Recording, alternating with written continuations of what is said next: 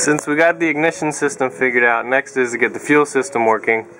Um, good news is, got the gas tank out. Now, so I don't see really any issue, rust issues in the trunk.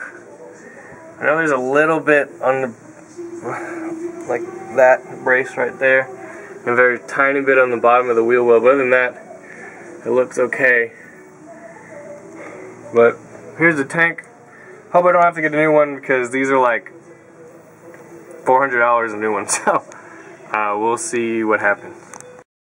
Well, it looks like we'll have to find a used gas tank or really, or maybe drop the money on a new one. I don't know, but two holes here. We got a patch here, a patch here, another two holes here, and my favorite one is the JB weld fix on the back. So, yeah, I don't think this one's gonna work. But listen, listen to this. I hope you can hear it.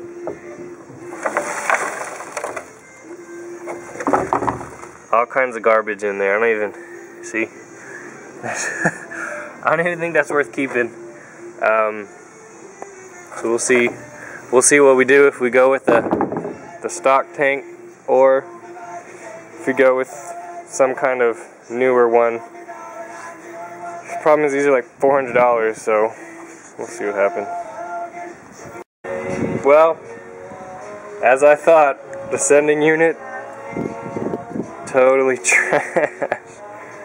It doesn't even move. That's full of junk. I can just imagine what the inside of that gas tank looks like.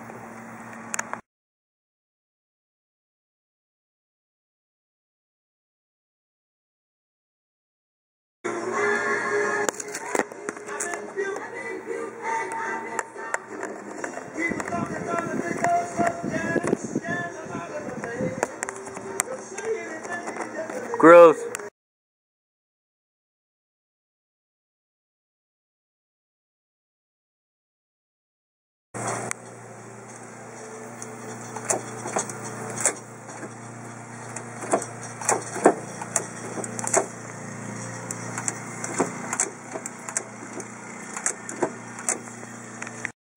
So we finished rebuilding carburetor number one, and now we're going to go rebuild carburetor number two.